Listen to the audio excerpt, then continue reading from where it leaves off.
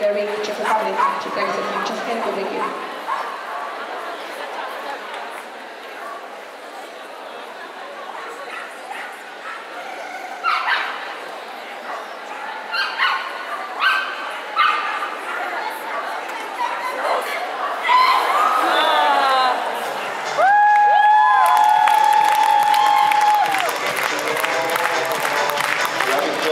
Gracias.